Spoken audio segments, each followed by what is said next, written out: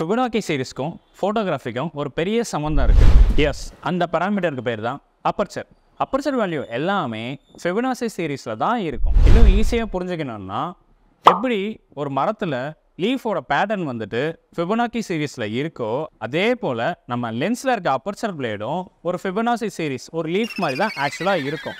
அதனால தான் அப்பர்ச்சர் எல்லாமே ஃபிபனாசி சீரீஸில் இருக்குது